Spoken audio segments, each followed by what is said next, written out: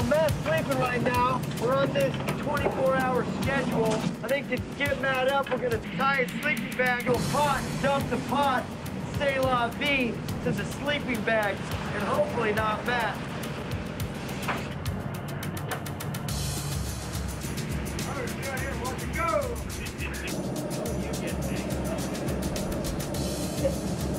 Five, four, go! hey! We're doing all right. Watch yourself. Joe!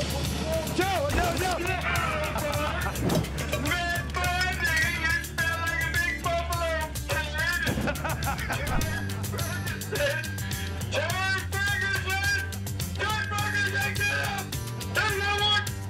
Why would you do that to somebody?